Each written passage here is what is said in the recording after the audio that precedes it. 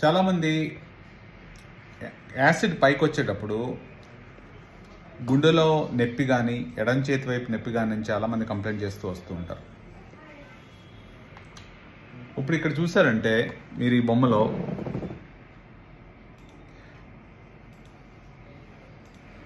జనరల్గా ఫుడ్ లోపలికి వెళ్ళిన తర్వాత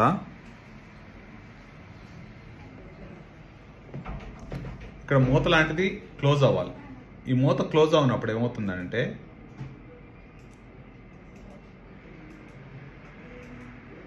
పైకి వస్తుంది అనమాట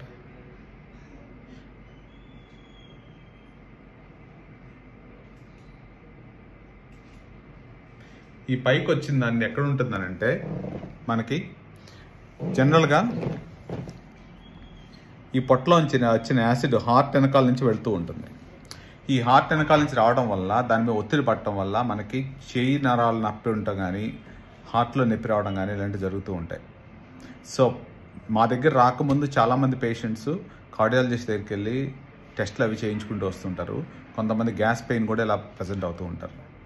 సో యాసిడ్ రీఫ్లెక్స్ సిమ్టమ్స్ ఉన్న పేషెంట్స్ ఈ రకంగా ప్రజెంట్ అవుతూ ఉంటారు అన్నమాట థ్యాంక్ యూ